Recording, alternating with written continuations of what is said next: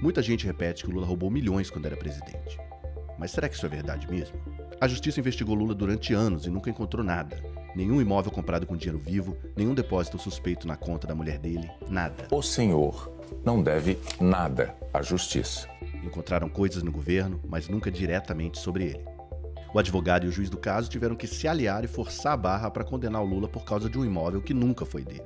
A fraude foi tão escancarada que a condenação foi cancelada e ele foi solto pelo mesmo STF que não deixou ele concorrer na eleição de 2018. E o juiz que articulou para botar ele na prisão foi virar ministro do pior adversário do Lula, o Bolsonaro.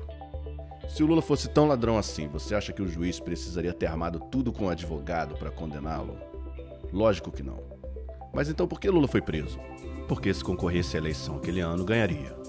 Lula foi preso porque criou o ProUni, que colocou jovens negros de periferia na universidade. Lula foi preso porque descobriu o pré-sal da Petrobras, a maior reserva de petróleo do mundo, e garantiu que esse dinheiro fosse brasileiro.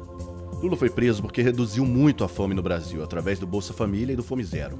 Lula foi preso porque aumentou o salário mínimo acima da inflação durante todo o seu governo, aumentando assim o poder de compra dos mais pobres. Ninguém tinha feito isso antes dele. E por isso Lula foi preso, porque botou o governo para cuidar do povo pobre de verdade. No Brasil isso pode dar cadeia. No dia 30 você tem a chance de votar de novo no presidente que mais ajudou o povo do Brasil.